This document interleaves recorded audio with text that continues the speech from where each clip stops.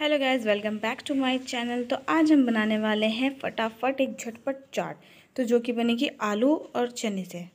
तो सबसे पहले हमने जो चने हैं, उनको रात में भिगो के रख लिया था, ताकि सुबह में जब हमने सीटी लगाए तो ये अच्छे से गल जाएँ। उसके बाद हमने चने और आलू को एक प्लेट पे निकाल लिया है, हम दो सेट बना रहे हैं। उसके बाद हमने आलू को मैश करके डाला है। आलू को बहुत अच्छे से बॉयल हो चुके थे तो उन्हें मैश करने के लिए ज़्यादा परेशानी नहीं हुई, वो हाथ से एकदम से मैच हो, मैश हो गए।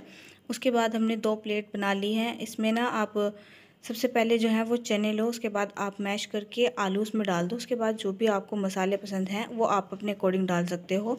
अगर आप ज़्यादा तीखा खाते हो तो आप ज़्यादा नमक मिर्च ऐड कर सकते हो, बट हमारे यहाँ पे इतनी नहीं खाई जाती।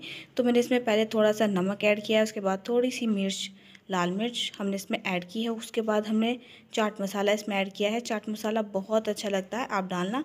ऊपर से हमने गार्निश के लिए प्याज बारीक कटी हुई और दो तीन हरी मिर्च बारीक कटी हुई उनको ऐड की है। तो देखो, ये थोड़ी सी चटपटी और थोड़ी सी स्पाइसी होएगी। और इसमें मीठा टेस्ट देने के लिए हमने इसमें ड्राई फ्रूट्स भी डाले हैं। तो सबसे पहले हमने इसमें खटाई डाल दी है। खटाई डालने के बाद हम इसमें दही ऐड करेंगे और मैंने ड्राई फ्रूट्स को जो है वो बारीक बारीक कट कर लिया था।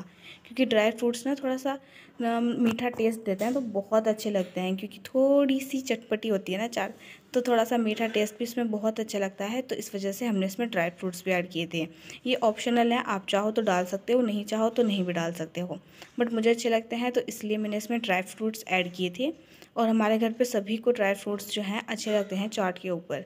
तो ये हमने देखो फटाफट इसे तैयार कर लिया। और वैसे आपके यहाँ रमज़ान में क्या बनता है? आप मुझे कमेंट्स करके ज़रूर बताना कि आपके यहाँ पे रमज़ान में कौन सी नई नई डिश जो है वो तैयार होती है। और ऐसे ही मोर वीडियो के लिए मेरे चैनल को सब्सक्राइब करें और ये हमारा दस्तरखान तैयार। Thank you so much